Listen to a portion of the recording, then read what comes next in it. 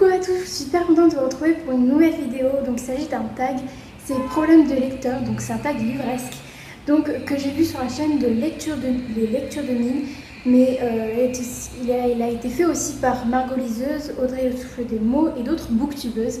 Donc du coup voilà, je suis vraiment super contente vraiment de faire ce tag. Ça fait longtemps que je l'avais pas fait et puis un tag livresque, un, ça c'est le petit plus. Et donc du coup voilà, donc il y a 11 questions, on va commencer tout. Euh, on va commencer avec la première question. Donc, tu as 20 000 livres dans ta palle. Comment décides-tu de ta prochaine lecture? Donc voilà, en fait, la question c'est ça. C'est qu'en fait, on a un problème de lecteur et euh, qu'on doit choisir bah, qu'est-ce qu'on fait dans, ce cas-là, dans ce problème-là. Donc voilà. Donc j'ai 20 000 livres dans ma pile à lire. Comment décides-tu de ta prochaine lecture? Eh ben, c'est en fonction de mon humeur. En fait, c'est en fonction euh, ben, du genre de livre que j'ai envie de lire.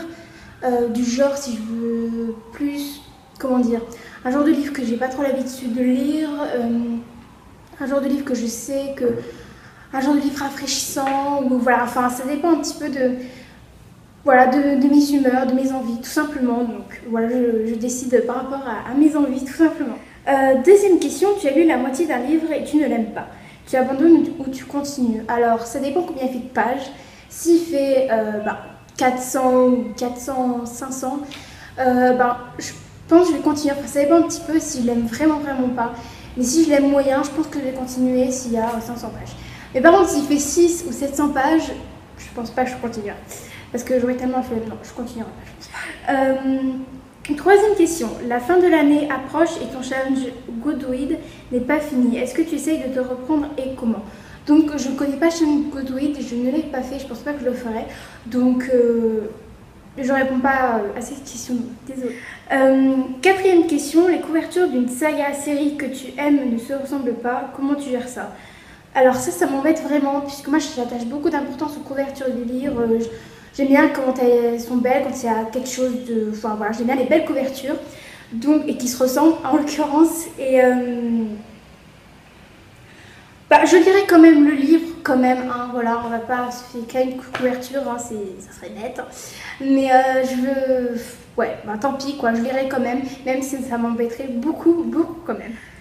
Hum, cinquième question. Tout le monde aime un livre que toi tu n'aimes pas. À qui en parles-tu du coup Ben, sur cette chaîne, j'en parle à YouTube, j'en parle en vidéo tout simplement. Parce que, ben, oui, je, ça m'empêche pas d'en parler en fait. Voilà. Euh, je pense que c'est bien qu'on n'ait pas les mêmes avis, euh, qu'on ait les avis, les avis d'un livre différents, des opinions différentes. Comme ça, ça nous permet d'échanger, de, voilà, de, de s'échanger sur, euh, sur l'avis d'un livre que qu'on n'a pas eu les mêmes opinions. Donc, on dit ce, que j'aime pas, ce que vous, vous aimez. Enfin, voilà, on s'échange et moi, je trouve ça super bien qu'on ait. Ça serait bête si on avait les mêmes opinions. Donc, voilà, moi, j'en parlerai donc en vidéo, tout simplement. Sixième question, tu es en train de lire dans un lieu public et tu sens que tu vas pleurer. Qu'est-ce que tu fais? Alors là, euh, moi je lis pas un lieu public, c'est rare que je pleure euh, dans un livre, pendant un livre, enfin que je pleure vraiment quoi, enfin voilà la petite la larme au coin, au coin de l'œil, mais franchement pas vraiment pleurer vraiment. Euh, mais on va se mettre le contexte, on va, supposer que je suis dans un public et que je sens que je vais pleurer. ben j'interromps ma lecture je pense, parce que ouais, je pense que j'interromps ma lecture. Voilà, je, ouais, je, je pense que je ferai ça parce que, ouais, bah oui, bah j'attends la lecture, c'est pas grave, je continuerai à la maison. Voilà. Euh, je continuerai chez moi. Septième question, la suite d'un livre que tu aimes vient de sortir mais tu as oublié pas mal de choses. Que fais-tu? Tu relis le précédent, tu trouves un synopsis bien spoilant, tu pleures de frustration. Alors, non, je relis pas le précédent parce que ben, j'ai la flemme tout simplement le précédent. Voilà. Euh, je pleure pas de frustration non plus, hein, pour aller dire qu'on va pas non plus. Hein. Euh, ouais, je pense que je trouve un synopsis bien spoilant. Voilà, je, me spoilie moi-même. Voilà, bravo. Mais, euh, voilà, c'est la seule solution. Donc, euh, je trouve un synopsis bien spoilant. donc, huitième question, tu ne veux pas prêter tes livres. Comment dis-tu non gentiment si on te pose la question? Bah, Je dis non gentiment et j'explique pourquoi, la raison gentiment. c'est tout. voilà. Et voilà, j'essaye de pas trop parler brusque et de dire gentiment non en expliquant la raison de pourquoi. Et donc, du coup, euh, bah voilà. Euh, voilà.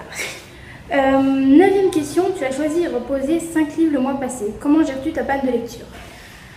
Donc ça serait très embêtant, mais euh, ce que je ferais pour euh, remédier à cette panne de lecture, j'aurais lu un livre que sûr que j'aimais. Donc par exemple, Le le contraire, enfin, je ne trouve pas d'exemple là maintenant, mais juste en fait un livre que je suis sûre que je vais aimer, que j'ai lu et que je vais relire. Donc ça va plus, je pense que ça va me rebooster, voilà, entre guillemets. Et donc, euh, du coup, euh, voilà, je pense que ça serait une bonne solution et je pense que ben, ça marcherait bien et que j'aurais après plus. que je pourrais relire des, livres nouveaux que j'ai pas lus. Euh, donc, voilà je, voilà, je ferai ça.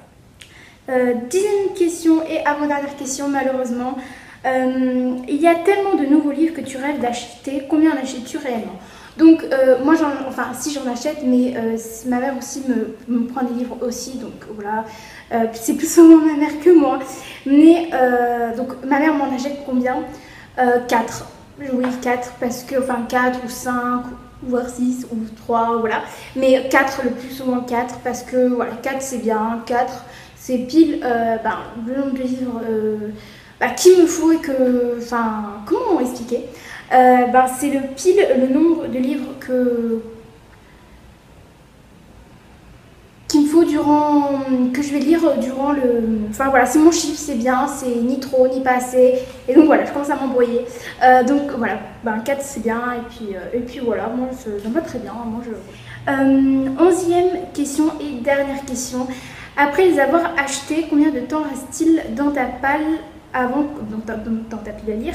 Avant que tu ne les lises il reste pas bien longtemps voilà j'ai tellement hâte de lire aller vite dans ma pile à lire que je, celui-là que je lis. En ce moment, je sais lire vite pour euh, pouvoir lire les autres ensuite. Et donc, du coup, il reste pas bien longtemps parce que voilà, j'ai tellement envie que voilà. Euh, donc, il reste pas longtemps, il reste 3-4 jours, mais au-delà, ça, ça arrivait, hein, ça, mais, euh, ça arrive plus 2-3 jours. Mais c'est rare plus, même si ça arrive quand même. Donc, euh, ben voilà, ce tag est déjà terminé. J'espère que vous aura plu. Il a été très court, je me rendre compte. Pour une fois, je n'ai pas blablaté pendant une heure. Qu'est-ce qui se passe? Euh, Donc, du coup, voilà, j'espère que ce petit tag vous aura plu. Euh, donc voilà, j'ai vraiment super adoré faire ce tag. Il est génial ce tag. Et bien sûr, je tag toutes les personnes qui ont envie de faire ce tag bah, à le faire, tout simplement. vous invite à le faire. Donc mettez-moi en commentaire votre vidéo, votre chaîne YouTube pour que je voie que vous avez fait le, tag, donc que je vois votre vidéo. Et donc, du coup, voilà, et ben je vous retrouve mercredi prochain pour une nouvelle vidéo. Bye. Coucou à tous, on retrouve la vidéo et cette fois-ci c'est 5 conseils et astuces pour lutter contre les boutons. Donc euh, voilà, bah, c'est une vidéo que j'avais très envie de faire parce que c'est vrai que bah, en fait on est tous touchés par les boutons.